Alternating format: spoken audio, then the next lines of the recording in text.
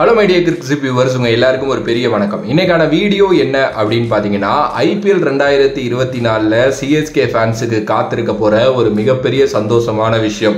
Mukesh Choudhary. Yes Mukesh Choudhary IPL ரெண்டாயிரத்தி இருபத்தி மூணு த்ரூ அவுட்டாக வந்து பார்த்தீங்க அப்படின்னா மிஸ் பண்ணார்.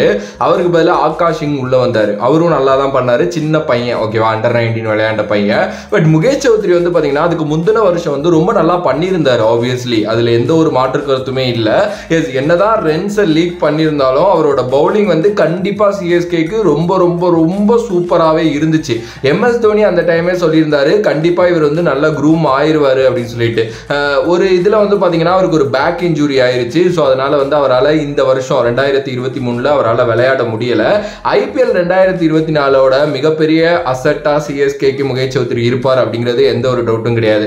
ரீசெண்ட் டைம்ஸில் நிறையா நியூஸ் போயிட்டு இருக்கு இல்லையா? ஐபிஎல் ரெண்டாயிரத்தி ஃபோருக்கான ஆக்ஷன் வரப்போகுது. ஸோ இவங்க இவங்களெல்லாம் ரிலீஸ் பண்ண சான்சஸ் இருக்குது வேர்ல்டு கப்புக்கு அப்புறம் அது கொஞ்சம் பீக் ஆகும் அப்படின்லாம் சொல்லிட்டு. அதில் வந்து பார்த்தீங்கன்னா சிஎஸ்கே முகேஷ் சௌத்ரியை ரிலீஸ் பண்ணிடுவாங்கங்கிற மாதிரிலாம் நிறையா நியூஸ் நான் படித்தேன் பட் அப்படி கிடையாது. சிஎஸ்கே அவர் ரிலீஸ் பண்ண சான்ஸே கிடையாது. ஏன்னா அவர் ரிலீஸ் பண்ணுறதா தான் எப்பயோ பண்ணியிருப்பாங்க பட் ஆனால் ஒரு செமையான லெஃப்ட் ஆஃப் ஃபாஸ்ட் பவுலர் சிஎஸ்கே உருவாக்கிட்டாங்க அப்படின்னே சொல்லலாம். சிஎஸ்கே மேனேஜ்மெண்ட் அவர் தொடர்ந்து வந்து பார்த்தீங்க அப்படின்னா கண்காணிச்சுட்டு அவருக்கான மெடிக்கல் ட்ரீட்மெண்ட் எல்லாத்தையுமே அவங்க தான் பார்த்துக்கிட்டு இருக்காங்க. அண்ட் அவர் வந்து பார்த்தீங்கன்னா ரீசெண்ட் டைம்ஸில் டொமஸ்டிக்கும் விளையாடலை பிகாஸ் ஆஃப் அவரோட இன்ஜுரி அவர் இப்போ கொஞ்சம் கொஞ்சமாக ஹீல் ஆயிட்டார். ஓகே என்சிஎல் அந்த டைம்லேருந்தே இருந்தார் இல்லையா? அவர் தொடர்ந்து வந்து பார்த்தீங்க அப்படின்னா என்சிஎல் இருந்து அவர் வந்து சரி ஆயிட்டாரு. மேபி கம்மிங் வேர்ல்டு கப் இருக்குல்ல? இந்தியாவோட நெட் பவுலராக அவர் இருக்கிறதுக்கு நிறைய சான்சஸ் இருக்குது அப்படிங்கிற மாதிரி சொல்கிறாங்க ஸோ அவர் நெட் பவுலராக வந்துட்டார் அப்படின்னா அவர் ஃபுல் ஃபிட் அப்படின்னே நம்ம வந்து வச்சுக்கலாம் ஓகே ரீசெண்ட் டைம்ஸில் கூட வந்து இந்த ஏஷியா கப்போட நெட் பவுலிங் லிஸ்ட்டில் கூட அவரோட பேர் ஃபர்ஸ்ட்டில் இருந்துச்சு. அதுக்கப்புறம் வந்து பார்த்தீங்க அப்படின்னா இல்லை. பிகாஸ் அவருக்கு வேற ஏதோ பர்சனல் இதுங்கிறதுனால அவர் போயிட்டார் ஓகே ஸோ பட் ஆனால் அவர் வந்து ஃபுல்லாக ஃபிட் ஆயிட்டாரு. அண்டு ஒரு பக்கம் பதிரானா இருப்பார் ஒரு பக்கம் வந்து பார்த்தீங்க அப்படின்னா முகேஷ் சௌத்ரி இன்னும் மேபி துஷார் தேஷ்பாண்டே கண்டினியூ பண்ணலாம் சிஎஸ்கே ஏன்னா அவரும் மோஸ்ட் இம்ப்ரூவ்டு பவுலர் அப்படிங்கிற மாதிரி சொல்கிறாங்க தீபக் சகர் வேற இருக்காரு.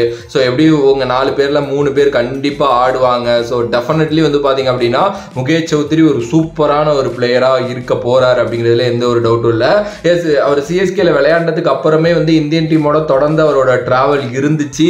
ஆப்வியஸ்லி வந்து பார்த்தீங்க அப்படின்னா அவர் வந்து நெட் பவுலராக எல்லாரு கூட போயிட்டு இருந்தார். ரீசெண்ட் டைம்ஸில் வந்து எமர்ஜிங் ஏஷியா கப் நடந்தப்ப கூட அந்த ஒரு இதில் வந்து நான் அவரை எதிர்பார்த்தேன். பட் அவரோட இன்ஜுரினால அவருக்கான சான்ஸ் அங்கே கிடைக்கல. பட் டெஃபினெட்லி அவர் வந்து பார்த்தீங்கன்னா ஐபிஎல் ரெண்டாயிரத்தி இருபத்தி நாலில் சிஎஸ்கேக்கு கம்பேக் கொடுக்க போறாரு. ப்ரோ அப்போ அவர் வந்துட்டாருன்னா ஆகாஷ் சிங் என்ன ப்ரோ அப்படின்னா நம்மள்ட்ட ஸ்லாட் இருக்கு இந்தியன் ஸ்லாட்டு ப்ளஸ் அதனால அவரை வந்து வச்சுக்கலாம். அது வந்து பார்த்தீங்க அப்படின்னா சிஎஸ்கே எடுக்க போகிற முடிவு தான் அது என்ன பண்ண போறாங்க அப்படிங்கிறது ஆக்ஷன் டைமில் அவங்க ரிலீஸ் பண்ணுற பிளேயர்ஸை வச்சு தான் நம்மளால கெஸ் பண்ண முடியும். பட் ஆனால் முகேஷ் சௌத்ரி வந்து பார்த்தீங்க அப்படின்னா சிஎஸ்கேக்கு திருப்பி வர இருந்தாங்க அதில் எந்த ஒரு டவுட் இல்லை. இது உனக்கு உண்மையுமே என்னை பொறுத்த வரைக்கும் ஒரு ஹாப்பி நியூஸ் பிகாஸ் சிஎஸ்கே உருவாக்கின ஒரு சில நல்ல ஃபாஸ்ட் பவுலர்ஸில் அவரும் ஒருத்தர். நான் அகைன் ஒத்துக்கிறேன். பயங்கரமாக ரன் லீக் பண்ணார் தான். பட் அவரால் வந்து பார்த்தீங்க அப்படின்னா டெஃபினெட்லி விக்கெட்ஸ் நிறையா எடுக்க முடியும். ஒரு மாதிரி வந்து ஒரு நல்லா க்ரூம் ஆகிட்டு இருந்த ஒரு பிளேயர் அப்படின்னே சொல்லலாம். டெஃபினெட்லி அவர் வந்தார் அப்படின்னா பிளேயிங் லெவலில் ஸ்ட்ரெயிட்டாகவே இருப்பாருன்னு நான் நினைக்கிறேன். ஸோ உங்களோட கருத்து அதை பற்றி என்ன அப்படின்ட்டு மறக்காமல் கமெண்ட் பாக்ஸில் கமெண்ட் பண்ணிட்டு. Feel like video please like share and subscribe to நம்மளோட கிரிக்ஸிப் சேனல்